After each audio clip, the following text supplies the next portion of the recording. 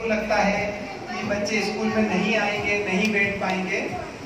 लेकिन मेरे senior sir जो एचओडी सर कहा करते थे कि कुछ नहीं, एक वीक की बात है।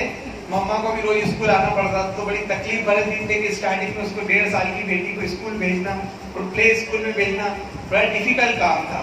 लेकिन सात दिन के बाद में बच्चों में घुल मिल कर और यहाँ के एटमोसफियर से थोड़ा सा घुलने मिलने के बाद में वो यहीं रहने की आदि हो गई। और जब फिर लेने के लिए बारह बजे आते थे तो बोलती थी कि दो बार और फिसल लू मैं, पापा फिर चलना है मुझे। तो इस तरीके से क्या इनके फ्रेंड्स बन गए। घर पर भी यही बात करती रही। अभी हम लोग शिमला गए तो वहाँ पर भी इन सब बच्चों को याद करती रही, सर को, मैडम को, इसकी क्लास के बच्चों को बोले, आदर्श के पास जाना, सिद्धांत के पास जाना, राघव के पास जाना, जो भी मुझे नहीं पता कौन कौन है। तो इन सब बच्चों के साथ भी इनकी इतनी फ्रेंडशिप हो गई। तो इस तरीके से साल भर बड़ा अच्छा रहा। और आप लोगों का भी सपोर्टिव बिहेवियर रहा, पूरा स्टाफ वगैरह सब पॉजिटिव अप्रोच के साथ में।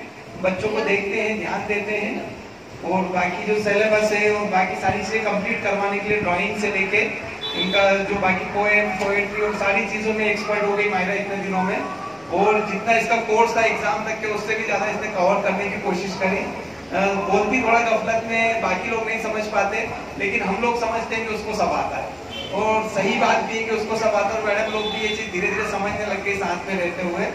और सुबह में तो शायद रिकॉर्ड भी किया था उस समय कि एबीसी हाँ। किस तरीके से बोलती है। जी हाँ जी हाँ। तो एक अच्छा अनुभव रहा इस साल का और आगे भी सोचते हैं कि इसी तरह से बेहतरी के साथ में ऐसे ही अनुभव बना रहेगा।